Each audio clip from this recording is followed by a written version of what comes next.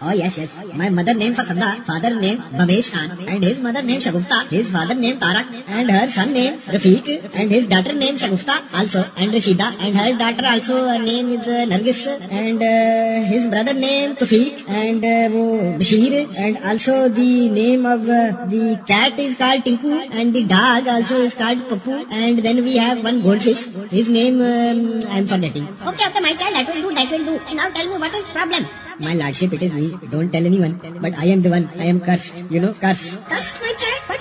What is cursed? Arey Baba, curse, curse. I have been cursed. Okay, my child, what curse affects you, my child? Speak up, speak up. Oh my lord, I am cursed with foul breath of a dead fish. No one can stand being near me because of the smell that comes from my mouth. Even my wife na, has left me and the children too shy and embarrassed with me, you know. They have decided to live on the streets instead of living at home with me. They are only seven and eight.